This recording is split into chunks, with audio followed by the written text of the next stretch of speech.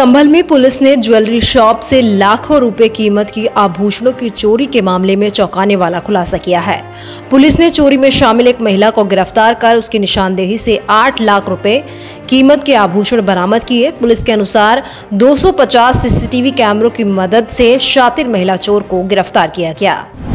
नोएडा के थाना express way स्थित मंगलौरी गाँव में घरों में काम करने वाले और अन्य जगहों पर पुलिस वेरिफिकेशन की अनिवार्यता का इस्तेमाल के लिए लोगों से ठगी करने वाले तीन सदस्यों को पुलिस ने गिरफ़्तार किया है। अभियुक्तों के पास से दो लैब, छह वेरिफिकेशन के फार्म, दो भरे हुए फार्म, एक रबड़ की मोहर सहित अन्य बत्तीस खाली फार्म, पेपर, एक सौ तीस फर्जी पुलिस वेरिफिकेशन जो सत्यापन दर्शाए गए हैं, पुलिस ने बरामद किए। रेसलर विनेश फोगाट के ओलंपिक खेलों में अयोग्य घोषित किए जाने के बाद से देश भर में इसे लेकर राजनीति शुरू हो गई है। वहीं अब 2004 के ओलंपियन और अर्जुन अवार्ड विजेता ने 100 ग्राम बड़े वज़न के लिए विनेश फोगाट को जिम्मेदार ठहराया। उन्होंने कहा कि वो खुद 50 बार इंटरनेशनल मैच खेल चुकी हैं। वज़न को नियंत्रण में रखना खिलाड़ी की खुद की ज़िम्मेदारी होती है। वहीं उन्होंने कोच की भूमिका को लेकर भी सवाल खड़े कर दिए। रुद्रप्रयाग में टेंपो ट्रेवल हादसे में चार कर्मचारियों पर हुई कार्यवाही का विरोध शुरू हो गया है। संभागीय परिवहन विभाग के कर्मचारियों ने कार्य बहिष्कार कर दिया। उत्तराखंड परिवहन मिनिस्ट्रियल कर्मचारी संगठन के बैनर तले कर्मचारी एआरटीओ कार्यालय में धरना प्रदर्शन कर रहे कर्मचारियों ने निलंबित कर्मचारियों को बहाल करने की मांग सरकार से की है। मांग पूरी नहीं होने तक धरना प्रदर्शन और कार्य बहिष्कार जारी रखने का ऐलान किया। ऋषिकेश में राष्ट्रीय दलित जागरण मंच से राष्ट्रपति को ज्ञापन भेजा गया। ज्ञापन में अपनी कई मांगों का उल्लेख किया। मांगों को जल्द से जल्द पूरा करने की अपील करी।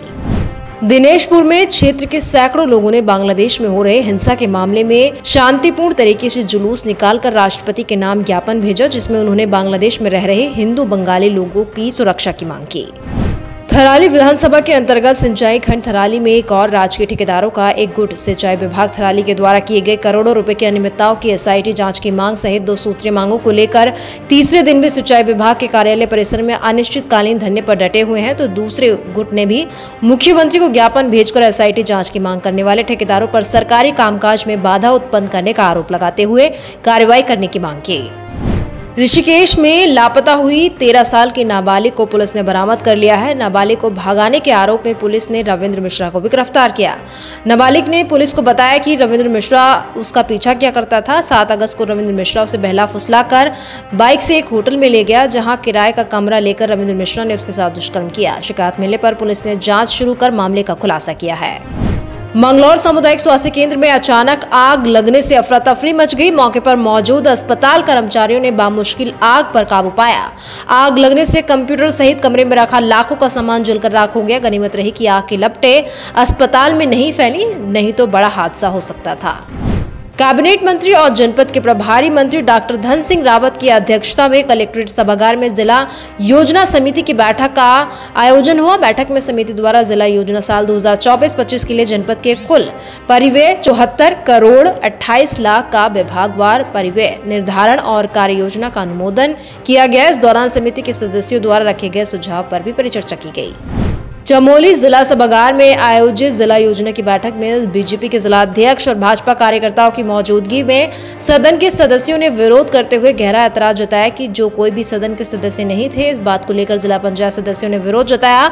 जिला पंचायत सदस्यों की बार बार प्रभारी मंत्री से आग्रह करने के बाद भी जब भाजपा जिला अध्यक्ष और भाजपा कार्यकर्ताओं को बाहर नहीं किया गया तो मजबूरन जिला पंचायत के कांग्रेस सदस्यों ने बैठक का बॉयकॉट कर दिया और प्रभारी मंत्री के खिलाफ ज़बरदस्त नारेबाजी की।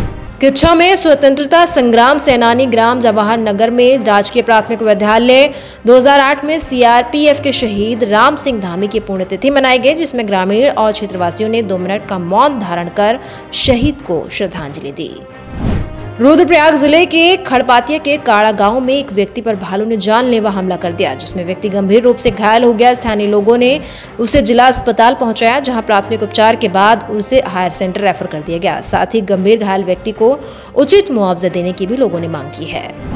हरिद्वार में बिजली के बढ़ते दामों को लेकर आम आदमी पार्टी के कार्यकर्ताओं ने राज्य सरकार के खिलाफ प्रदर्शन किया और सिटी मजिस्ट्रेट को ज्ञापन सौंपकर पंजाब दिल्ली की तर्ज पर निशुल्क बिजली देने की मांग की है।